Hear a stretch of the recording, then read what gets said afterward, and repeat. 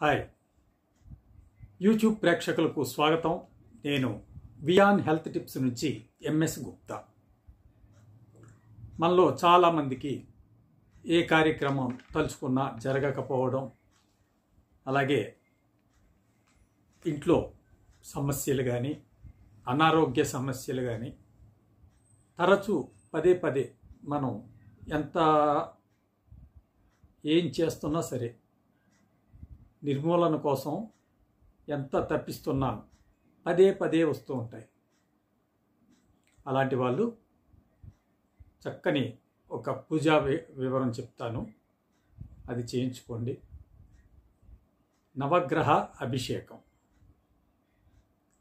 ఇది ప్రతి ఒక్కరూ కూడా సంవత్సరంకి ఒకసారి చొప్పున ప్రతి సంవత్సరం చేయించుకుంటూ ఉంటే వాళ్ళ గ్రహ దోషాలు అన్నీ కూడా పటాపంచలైపోతాయి. మీకు దగ్గరలో ఉన్న టెంపుల్లో నవగ్రహాలు. ఇంచుమించుగా అన్ని గుడుల్లో కూడా నవగ్రహాల టెంపుల్ సెపరేట్గా ఉంటుంది. కాబట్టి ఆ టెంపుల్కి వెళ్ళండి. ముందు రోజే మీరు పూజారులకి చెప్పండి. ఈ పూజా విధానం ఆదివారం నాడు చేయించుకోవాలి. కంపల్సరీ ఆదివారమే. ఉదయం ముందు రోజు శనివారం రోజు వెళ్ళి మీరు పూజారులకి చెప్పండి. రేపు ఉదయం వస్తాం. నవగ్రహాలకి అభిషేకం అని చెప్పి.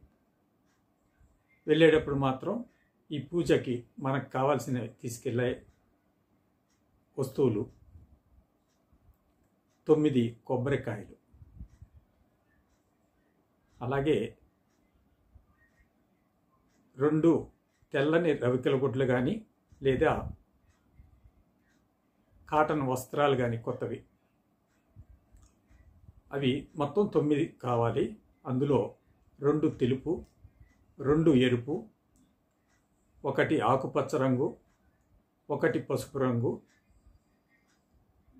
రెండు ఒకటి నీలం ఒకటి నలుపు.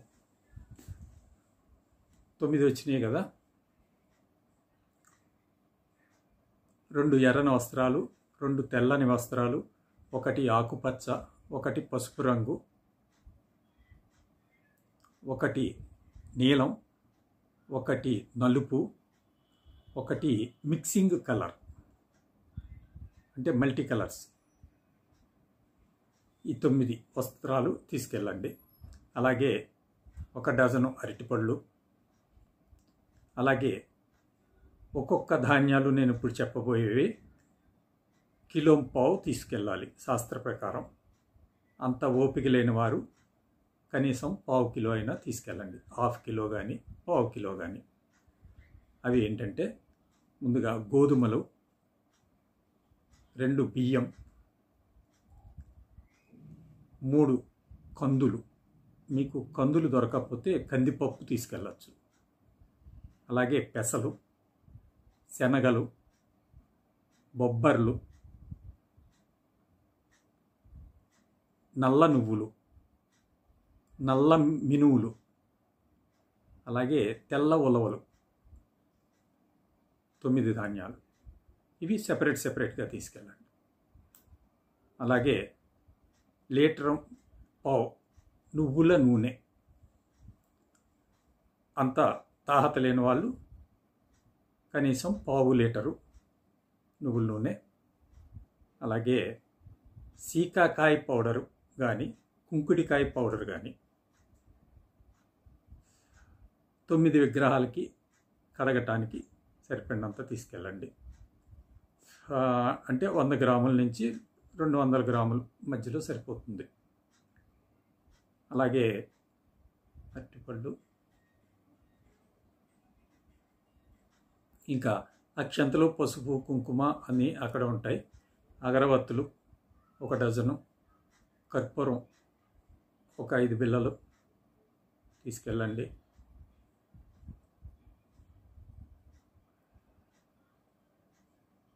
ఆ పూజా విధానం ముందు విగ్రహాలన్నిటికి శుభ్రంగా అన్నీ తీసేసి నీటితో క్లీన్ చేసి ముందుగా సీకాకాయ తోటి పైనుంచి కింద వరకు అంతా రాసి మళ్ళీ నీటితోటి చేస్తారు.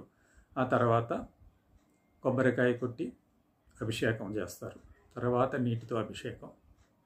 అయ్యాక బొట్లు పెట్టి అన్నీ కూడా కొంచెం పూజారులు బాగా తెలుసున్న వాళ్ళ చేత అక్కడ చేయించుకోండి. ఇంచుమించు గుడిలో అంటే అన్నీ చేస్తారు. ముందుగా మీరు ఆ గుడికి కట్టవలసిన టికెట్ ఎంత అయితే అంతా కట్టండి. మీకు సామాగ్రికే కొంచెం ఖర్చు అవుతుంది.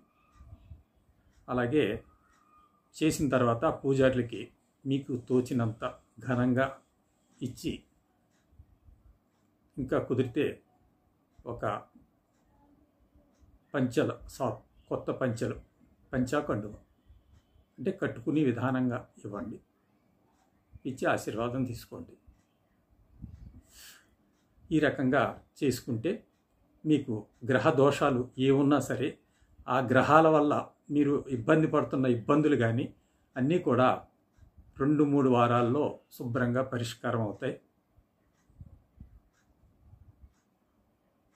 ఇది ఓపిక ఉన్న వాళ్ళు సాధ్యంత వరకు ఆహారం తినకుండా పానీయాలు ఏమన్నా తీసుకుని వెళ్ళండి. ఆ ఆహారం మాత్రం ఏమీ తినకుండా చేయించుకుంటే చాలా మంచిది.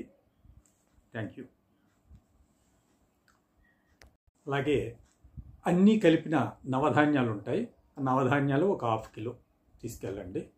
అలాగే తొమలపాకులు పద్దెనిమిది తక్కువ కాకుండా. అట్టిపల్లి ఇందాక చెప్పుకున్నాం కదా ఒక డజన్ కాకుండా పద్దెనిమిది తక్కువ కాకుండా తీసుకెళ్ళండి. అలాగే పసుపు కుంకుమ అక్షంతలు కూడా మనం తీ సొంతంగా తీసుకెళ్తేనే మంచిది. ఒక చిన్న చిన్న ప్యాకెట్ తీసుకెళ్ళండి.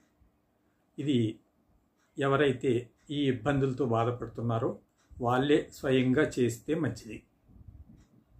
వారు ఇక్కడ లేని పక్షంలో వాళ్ళు చేయించుకోలేని పక్షంలో వారి తరపున వాళ్ళ రక్త బంధువులు ఎవరైనా సరే చేయొచ్చు.